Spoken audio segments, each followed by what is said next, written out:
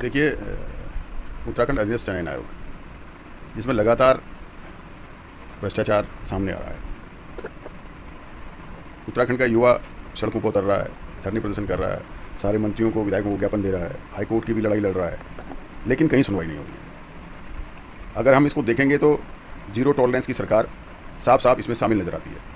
विधानसभा में इस मुद्दे को हमने उठाया, सारे एविडेंस उनको बताए साफ़ साफ़ भ्रष्टाचार दिखाई दे रहा है। और सीबीआई जाँच की मांग करी। तो सरकार के मुखिया का अभी तक तो कोई जवाब आया नहीं उस पर उन्होंने कोई टिप्पणी करी। युवा सरकार, युवा प्रदेश, युवा मुख्यमंत्री और युवा सड़कों पर, युवा हताश, युवा निराश, युवा का भविष्य अदर पर, मेहनती युवा भ्रष्टाचार के भेंट चढ़ रहे हैं। तो सरकार युवाओं के प्रति कहीं गंभीर नहीं दिखती। सरकार उत्तराखंड के प्रति कहीं गंभीर नहीं दिखती। ऐसी संस्था जो व्यापम में ब्लैक लिस्टेड है, ऐसी संस्था जिस पर लखनऊ गोमती नगर में मुकदमा चल रहा है। उस संस्था से परीक्षा कराई जा रही है। संस्था के अध्यक्ष सचिव साफ़ वीडियो में ये कहते हुए नज़र आ रहे हैं कि हम लेते हैं पैसे तुम्हें जो करना है कर लो। उनके खिलाफ कोई कार्रवाई नहीं होती। तो कहीं न कहीं इसमें सरकार की संलिप्तता दिखाई देती है। सर फिर अब आगे बच्चे क्या करेंगे? जो अभी एग्ज़ाम की तैयारी वगैरह चल रही है जब विपक्ष इतनी आवाज़ उठा रहा है विधानसभा में भी आवाज़ उठा ली है तो बाकी कोई और जगह बस्ती नहीं है। अब वो क्या करे? क्या विपक्ष की भी नहीं सुनी जा रही है इस सरकार में? देखिए सरकार भ्रष्टाचार में शामिल हो गई है। आकंठ गले तक जो है इसमें भागीदारी दिख रही है।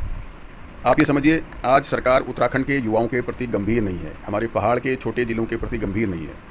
इतने गंभीर आरोप कर लगने के बाद भी आज मुझे लगता है कि अगर ईमानदार सरकार होती तो अन्य सेवा चयन आयोग के अध्यक्ष और सचिव दोनों सलाखों के पीछे होते।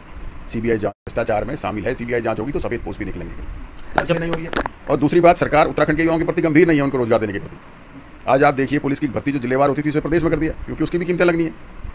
एक पिथौरागढ़ के ज़िले में अगर 200 सीटें थी तो पिथौरागढ़ का लड़का लगता था।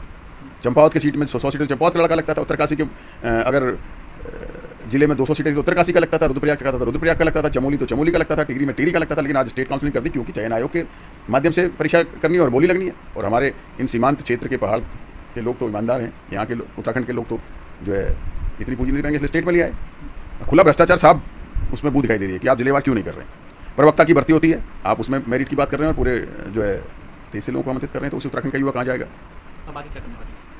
हम जो है कि चाइना का घेराव करेंगे, हम फिर सड़क पर उतरेंगे, हम सदन में फिर इस बात को उठाएँगे। देखिए, आप युवा के ऊपर ही प्रदेश का भविष्य टिका हुआ है, देश का भविष्य टिका हुआ है।